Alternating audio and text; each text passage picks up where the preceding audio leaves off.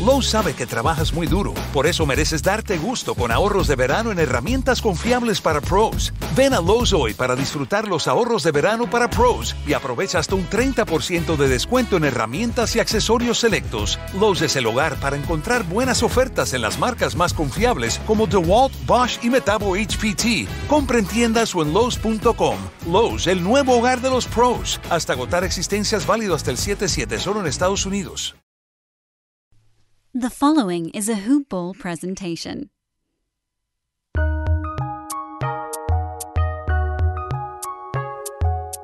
Welcome to the Fantasy NBA Today podcast.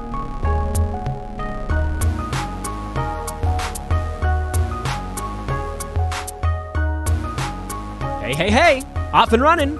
It's Wednesday. It's Fantasy NBA today. We are rolling in the afternoon today, folks. I apologize. Had some stuff come up here on the home front that pushed this one a tiny bit later, but you know what? It's the off season. The hell do I care? Episode 28 of the off season. I see folks celebrating when they get to like 50 episodes of something. I'm like 50 episodes. That's that's like 2 months, man. Give me the big numbers. Give me the big ones. I actually don't know what we're at right now. I know the iTunes page has a has a particular number, but there was a whole bunch that came before we switched. Was it host providers? I guess. So I don't know. I could probably go back and get a round ballpark of a number, but this pod started in November or December. I think it was right around the start of the season 2017. So November of this year will have been in existence. The podcast will have existed for four years. I don't know how many weekdays are there in a year. We've never missed a weekday since the podcast's inception. Then there were these weird shows we did before that. Those of you that are with us way at the very beginning. No, that's not right. I'm getting that wrong. I think we got onto a host provider in November of 2016. Is that possible? Good Lord, has this pod been in existence for five years? Ah, well, in any event, uh, welcome to the show. I'm Dan Besbris. This is Fantasy NBA Today, a hoopball presentation. You can follow me on Twitter at Dan Besbris. Thank you to those that have done so over the last day or two. Uh, it seemed like it was more the gambling degenerates as opposed to the fantasy degenerates, but you're all welcome. Come into my flock. You're all welcome here. And Dan Besbris at Dan Besbris, not danbesbris.com. That did exist for a while, but I think Pretty sure I still own the domain name, but I don't know that anything's happening on it. What's there? What's at danbesbris.com? What the hell is this? Did somebody buy my domain? I may have forgotten to renew my domain name, ladies and gentlemen. That's not good. Oops. the things you learn on June the 23rd, 2021, on a Wednesday afternoon. All right, here's where we're at. We are rumbling our way through the Dan Besbris Old Man Squad. We left off yesterday at OG Anunoby, preseason rank of 84. We'll pick up today with Brook Lopez. That'll be the first name on our board. I do want to remind everybody once again please check out our buddies over at manscaped.com. Get yourself a lawnmower 4.0 or get something smaller. I don't care. Get yourself a pair of the shears that's their luxury nail kit. You guys want to hear me trim my nails in the middle of a podcast? Of course you don't. Go do it yourself. I think it's only like 20 bucks for the shears. And you can still get 20% off and free shipping using promo code HoopBall20. You can also get yourself a full fledged Lawnmower 4.0. That's the big new trimmer. It's awesome. Built in LED, waterproof technology, 90 minute battery life, pinch free technology, sleek design. They have an ear and nose hair trimmer. They got boxers. They got powders. They got lotions. They got shaving creams, shaving gels, a shaving mat to catch the hairs. I actually could definitely use that when I do my beard. Because I sort of let it get a little rabbinic in between cuts these days. Thank you, pandemic. Haven't needed to add outside hygiene in a long time. I guess I probably should now. We're all starting to go places again. Whatever. As my father used to say, bleep them if they can't take a joke. I'm showing up hairy and disgusting.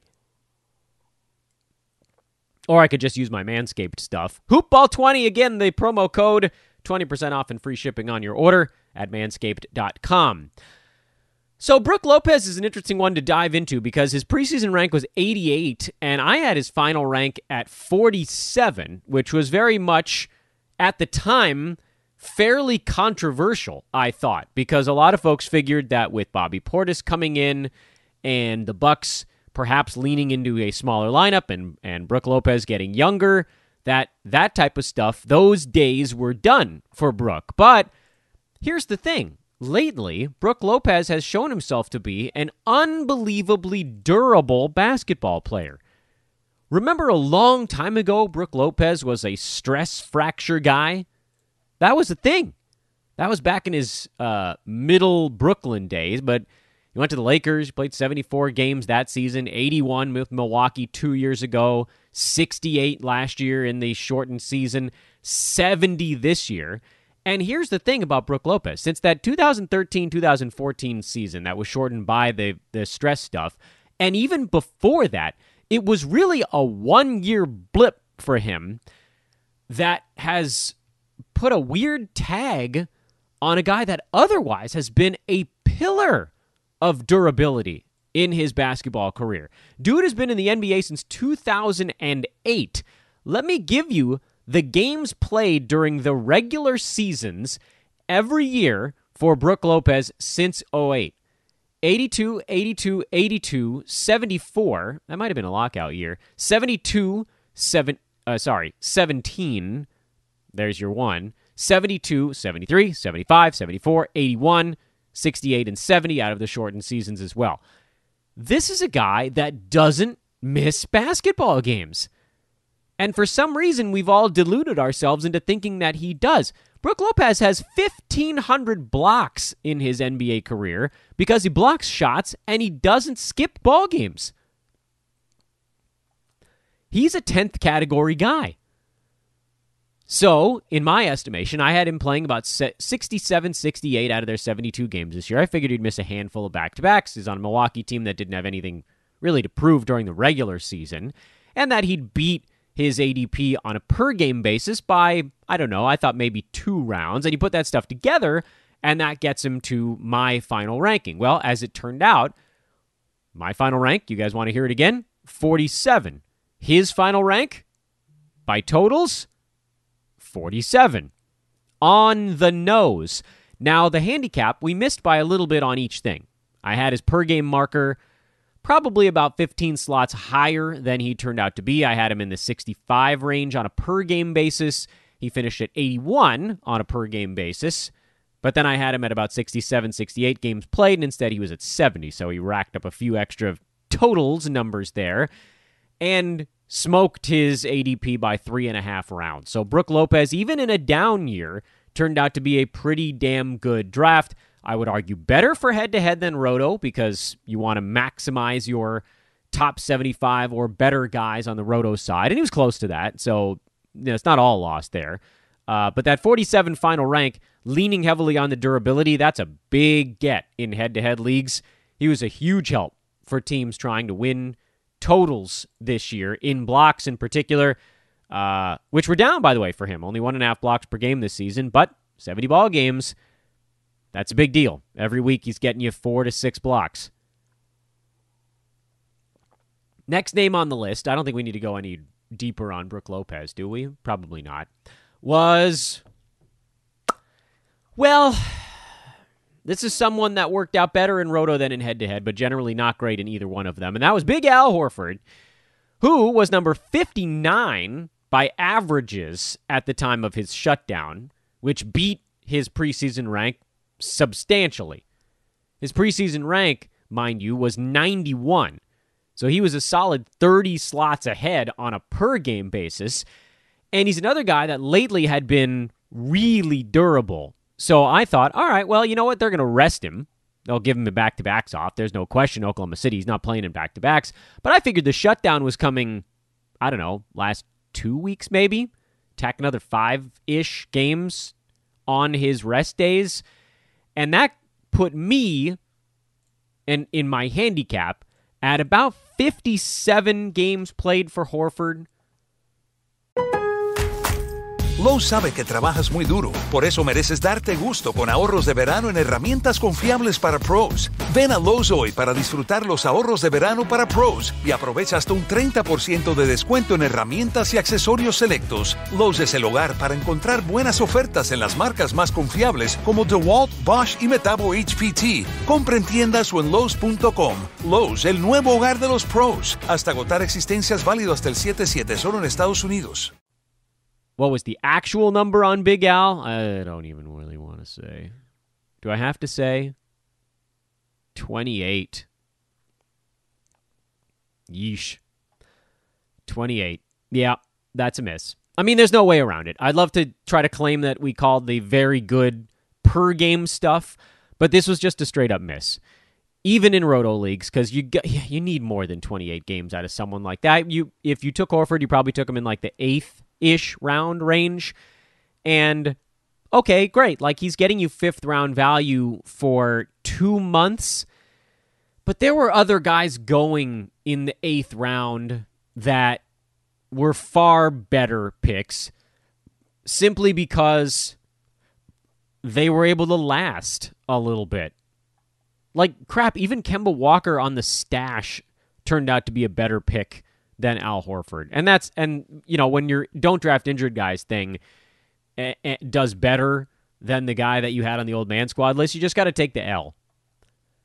And the reason isn't so much because of result, but because of a whiff on process here. Of course, Al Horford's per game numbers were going to be better this season. He got traded from a place where he was a power forward playing next to Joel Embiid and then converted into a backup center to the veteran anchor on a young team where he was going to be asked to do a lot of the facilitating and moving guys around on offense and defense. And so his role was going to dramatically increase season over season. But there was no way he was going to hit the number of games played to ever warrant being drafted in a head to head format. And a best case scenario in Roto was probably the 57 games played that I listed a minute ago. I handicapped him on a best case scenario because I love Al Horford's fantasy game and I wanted to talk myself into him making sense. But he never did. If your best case scenario is three to four games less than the league average, that means that anything else that goes wrong pretty much ends your chance to hit fantasy value. You have to be so far ahead of your per game expectations to hit rank while missing that many games that th- there's these select few. Like Miles Turner played 47 games remember this year? He was a top 15 guy on a per game basis and because he missed 25 damn games his totals rank was right on his ADP this is a guy who beat his per game marker. He was getting drafted uh, in the fifth round, and he was practically on the turn basically for most of this year. Which is, by the way, I know that to that's like 35 ish slots or so. 35 slots is a long way to go. But 35 slots to climb into that first round range is actually way bigger than 35 slots going from 100 to 65, say. So Miles Turner is like is basically the one guy this year that was so great on a per game basis that despite missing almost half the season, he still hit his mark. And there was no way that Al Horford was going to be that good. That's the that's the reason that I'm upset with this call. He's he is the old man squad name. He's if it wasn't Tobias Harris, it would have been Al Horford until Philly kind of blew him up a little bit as the logo for the Dan Besbris old man squad. I guess it was LaMarcus Aldridge for a long time too, but you know, irregular heartbeat, etc. Al Horford had plenty of fantasy game left, but he had no chance of playing enough games this year to be a good draft pick. None. Again, a best case scenario for Big Al, I thought was like top 50 ish per game numbers, right around 50. And he wasn't that far off of that. He was uh, 59, I think I said a minute ago. So that was like, he was pretty close to his best case scenario on a per game basis. But a best case scenario on a totals basis was playing, was missing 15 games. So How I got him to a final rank of 51 on my board, I really don't know looking back. If I thought he was going to be number 50 per game and missing three or four games more than the league average, the best ranking I should have given him was 60, which still, by the way, would have been enough to get him on the old man squad. But when that's your best case, you're looking at it like, okay, um, what's the worst case? This, really, this was the worst case. This, I think, was worse than anyone could have ever expected. They shut him down way early this season, gave him a lot of rest, and turned him off. Just turned the motor off, let him play just enough to show teams that he still had a lot in the tank, and then and then shut the car down. So, you know, you could make that argument that if you thought he was going to finish at 60 and he's getting drafted at 90, you take the shot at that's your best case scenario and you live with it and that's why I think we rolled the dice a little bit there. Because again, if your eighth round pick doesn't pan out, it's not going to sink your fantasy team. But as far as handicapping goes, this was off. It should have been worse. That was bad process, bad result. One begets the other. Next name on the list was Evan Fournier, which I actually, I know as bad as his season turned out to be, I don't regret any part of this selection. Where the hell did he actually finish this year? I don't have those numbers in front of me on Fournier because he was uh, his ADP somehow ended up falling outside the top 100. Is that where we're at now? Let me make sure I've got these numbers right. Yeah, Fournier had an ADP of 105. His preseason rank was 105. So I, I I have all the top 100 guys listed out from the the worksheet we had going last week, and then I foolishly dive bombed into this podcast without uh, double checking that I had the numbers on the other guys. So Evan Fournier was actually number 90 by averages, despite being traded to a team where he was going to be like the third option. Um, I'm not at all upset about the Evan Fournier old man squad call. There was almost no way for us to know that he was going to play 47 games total this year. But his numbers in Orlando were beefy as hell. 20 points, three boards, four assists, a steal, almost three three pointers on 46% from the field, one of his best career marks uh, and around 80% at the free throw line. Everything was great. I mean, he was, if we thought he was having a great season last year in Orlando, where he was at 18 and a half points, two and a half rebounds, three assists, and about 46 point, eh, closer to 47% shooting last year, he was actually doing better this year in Orlando prior to all of the injuries and the COVID and all that stuff. Last year in 66 games, Fournier was number 73 on a per game basis, which I believe included. Did I include bubble games? He might not have made the. Bu- I, block it out a little. bit. I don't remember if he made the bubble trip or not. Uh, I don't think he did. The maybe he did. Who cares? It doesn't matter. So on a per game basis, he was clobbering. He was crushing it. He was actually better than that top 75 during his Orlando minutes this season. But there was COVID, there was injury, there was the back, there was the knee, there was the whole thing with him. And then there was the trade. The COVID was after the trade uh, to a team where he wasn't going to be as featured. And that's, I mean, you have to be okay with that type of question mark. We knew the Magic weren't going to be very good. In fact, I had their team win total under as one of my pretty strong leans at the beginning of this year. Because they didn't make any improvements, they lost Jonathan Isaac. So this was a team that had the arrow pointed the wrong way, and a blowup was imminent. The question mark was who was going to get traded? Vooch? Could they move him? Could they move Aaron Gordon? Could they move Evan Fournier? Well, they moved them all. Not Terrence Ross. They shut him down, but they moved everybody else. And so you had to know that that was going to be a risk with taking him as like a ninth, 10th round kind of guy. But we're talking about a ninth, 10th round kind of guy that actually had top 75 or better upside. I don't regret this selection at all, despite the fact that he missed a ridiculous amount of time this year. We could not have seen that coming. By totals, he was number 153 because of games played issues.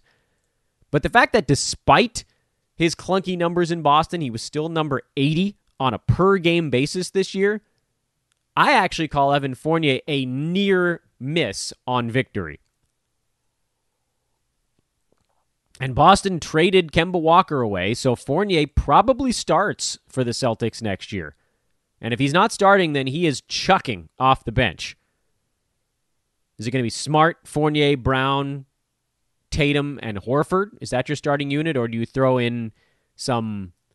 Do you, do you throw in like a, more stout power forward and not force Jayson Tatum to play the four game in and game out? I don't know. Boston will figure that out. They hired Ime Udoka, by the way, as their head coach today, so that's pretty cool. I think Celtics got a good one there. We'll see how that all shakes out. But Fournier is going to play in Boston. He doesn't have nearly the per game upside that he showed in Orlando when he was taking 14 shots a game while with the Magic this year, but he still took 12 and a half shots with Boston. And that's a number that could actually probably creep up ever so slightly. Took 12 and a half shots during the post. Oh, sorry. You took 11 shots for the Celtics during the regular season. 12 and a half was during the postseason. That's probably a more reasonable number for him. 12 and a half shots a game gets him just inside the top 100. So, yeah, I mean, he'll probably go really late. I'll, I'll tell you guys right now, Fournier's probably back on the old man squad again. Next name on the list was Duncan Robinson, who had a very weird year. Uh, I'd be lying if I said it wasn't a disappointment. On a per game basis, he was number 121. I was expecting better. I wanted him right around the edge of the top 100 on a per game note. And then with the Heat, everybody was going to miss something, we thought, except apparently Duncan Robinson. He played all 72 games. So if, if you drafted him, you kind of got lucky because our hope with Robinson was that he was going to exceed his draft slot on a per game basis. He was drafted about 108, so he actually underperformed by about one round, which, again, not a huge deal, but when you're drafting at 108, you're looking for someone on a per game marker that's could get inside that top 80 type range, and he didn't get close to that. From a head to head standpoint, he actually turned out to be a, a, a pretty good hit because of the 72 games played. So this is a guy that just played every single game and hit a crap ton of three pointers. And so by totals, he was number 78. So I'd love to take all the credit in the world for the fact that I had his final rank at 80 on the Dan Besbris Old Man squad, and I missed by two slots.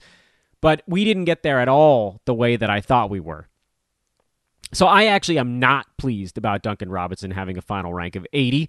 As a roto guy, I want my dudes to be posting better per game stuff. And if they miss five, six, seven games here and there, it's not going to kill me.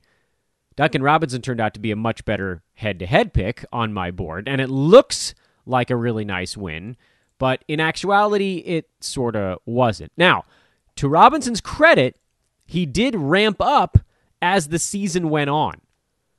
He started off very slowly this year, and then ultimately got back up and kind of beyond where the uh, the expectations would be. The problem is that the early season shooting struggles really weighed down his field goal percent. And actually, it was both percents for Robinson. And I, I sort of look at his numbers and wonder if he really was truly healthy this year because he didn't get to the foul line as often. He shot worse from the free throw line. 83%. He's a career 87%er there. 44% uh, from the field after 47 last season. If his percentages rebound next year, he jumps right back inside the top 100. That's pretty much all it takes. Now, we'll see if Miami makes any moves in the offseason. If they don't, then he'll probably just slot right back in, playing a ton of minutes and shooting a ton of three pointers. Still, I don't like how we got there. And there's a certain amount of regret in trying to take credit for something like that. So, no. Will Barton, now we're getting into the deep weeds here. So, uh, these were the last. Will Barton had a preseason rank of 133. So, the fact that this one didn't hit, I sort of don't care because this is like the who are you going to take with your last pick sort of thing. Will Barton was number 174 on a per game basis. He went through about a one month spell in the middle of the season where his percentages and shot attempts were high enough that he was a worthwhile fantasy contributor. But uh, his game has fallen off now. I think there's just too many injuries, and he likely won't remake the Dan Besbris Old Man Squad going forward. That one was a, a bit of a flyer. It didn't work out. Tim Hardaway Jr. had a preseason rank of 139. This one actually I got pretty close to right, as as wrong as Will Barton may have been. Tim Hardaway Jr. was all over the map this year, at least in terms of where he ranked. He was number 134 on a per game basis. Uh, but he closed the year really strong. It just sort of took the Mavs a long time to figure out that he was the best option alongside Luka Doncic in terms of spacing the floor and scoring points. And so he finished the year off with uh, a flourish.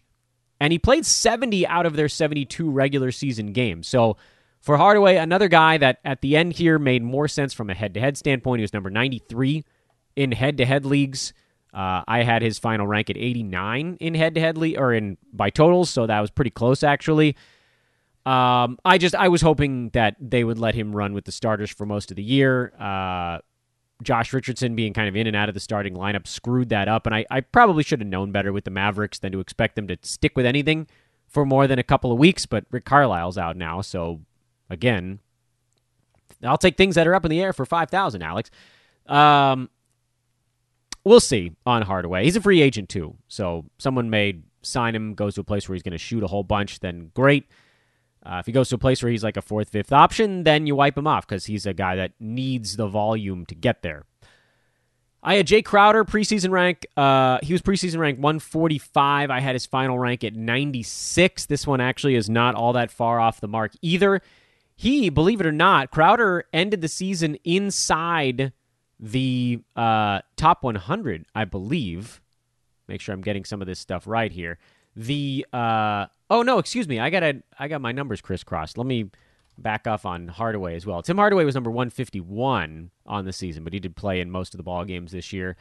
Uh, Jae Crowder was number 127, roughly on a per game basis. I guess it depends on what site you're looking at. I've seen him as low as 135. He's somewhere in that neck of the woods. This one was very much a maybe kind of play. Again, preseason rank of 145. Uh, I had his final ranking as 96 by totals. His final totals ranking this year was actually 121, so that one was a miss. I don't know what I thought was going to be better for Crowder. Probably the durability, probably the steals. Everything else was relatively predictable for him. There was no upside there. And so you could make the argument that, Dan, you shouldn't really be drafting these guys at the end because there's no upside. These are guys that generally overperform on the totals board because they are relatively durable, Hardaway, Crowder, and make more sense when you've taken some shots, particularly in a head to head league, and you need to round out your roster with someone that you can just trust to play like 68 ball games and not give you zeros oh, okay, I don't have to stream this slot kind of thing. So, no, no real big hit there. And then the last one was Terrence Ross, who, much like Evan Fournier, there was the hope that he would get this massive usage bump. And it actually worked for a while. He was like top 40 for the first three or four weeks. Then he went ice cold. Then he got warm again. And then he got hurt. And then they shut him down. So he played only 46 ball games. Uh, on a per game basis, he he actually did beat his his rank of 145. He was like 125 ish, but you're looking for more. You're looking for. I, my hope was that he was going to end inside the top 100 on a per game basis, and he was teetering on it for long stretches. He just couldn't stay there because of well injury and Orlando. So Terrence Ross didn't quite work out. I don't feel that bad about that one. At least the way I do about Jae Crowder. That was a zero upside play. I don't know why he's on this list. That was kind of dumb. Tomorrow, we will finish up the Dan Besbris Old Man Squad. We'll have our last section, the Dan's non boring value guys, which generally sucked. But we'll go through them. We'll try to isolate why ones hit that did, ones that missed. We'll figure out why those didn't work either. And uh, we will work on that through tomorrow. And then Friday, we'll talk basketball for the most part, just kind of talking hoops. Thank you as always for tuning in, everybody. This was Fantasy NBA Today, slightly shorter edition. That surprised me. I guess we probably could have gone into the non boring, whatever the hell I call them, non boring value guys. But I don't know. I felt like grouping them together would make for a pretty reasonable one chunk podcast. And then next week, we'll begin our tour of the teams in the NBA. We're going through them, probably one by one. By the end of that, we'll basically be at free agency. there'll be stuff to talk about in between there. Don't worry. We got plenty of things going on. I am Dan Besbris. Thank you as always, folks. Really appreciate you guys listening. Hit me up if you want to start a podcast. I mean it. I really do. I mean it. At Dan Besbris on Twitter. Have a great Wednesday. Uh, oh, you know what I forgot? Forgot to talk about the ball game tonight. Atlanta at Milwaukee. Bucks favored by eight with a total of 225. These teams each got three days of rest between finishing off uh, or sorry, I think Milwaukee got three days and Atlanta got two days of rest after their seven game series in the previous one. I don't know what kind of legs they have coming back in this ball game. This is very much a feel it out type of performance uh, where I'd like to bet the Hawks catching eight. That's probably the strongest lean I'd have to anything in this ball game, but I don't think I quite have the stones to do it. Uh, I don't know if I do. And then, of course, yesterday, DeAndre Ayton on the inbounds dunk with one second to go. The Clippers blew a golden opportunity to get even. And it sounds like Chris Paul is going to be back for the ball game tomorrow. So we'll talk much more about the Clippers and the Suns on tomorrow's podcast. As far as tonight's game goes, from a matchup standpoint, I'm seeing a lot of people saying that the Bucks are just going to steamroll the Hawks. I just I don't see it that way. I feel like Joel Embiid was the worst possible matchup for Atlanta. Now you bring Clint Capela back into the mix a little bit. Brook Lopez will do a nice job defending him. So I'm not talking so much about Capela doing a ton offensively, although Embiid certainly he moves his feet better than than Brook Lopez does. Brook is going to be into drop coverage. Atlanta's going to be shooting a lot of threes. That'll probably allow the pace to get going. Milwaukee's not going to slow it down the way that the Sixers did. Um, so maybe the over, maybe the Hawks. That's kind of the direction I'm looking in this ball game. And uh, those are your thoughts on the game tonight. Almost forgot to talk about that on today's show, but now I didn't. And considering I actually wrapped up the show already, I guess I don't really have to do that again. So, bye bye.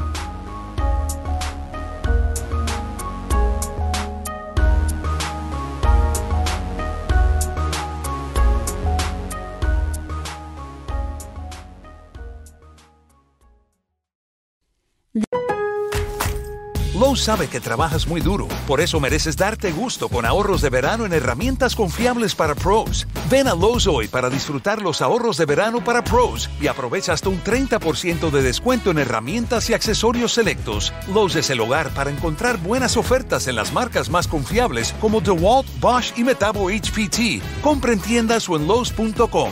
Lowe's, el nuevo hogar de los pros. Hasta agotar existencias válido hasta el 7-7 solo en Estados Unidos.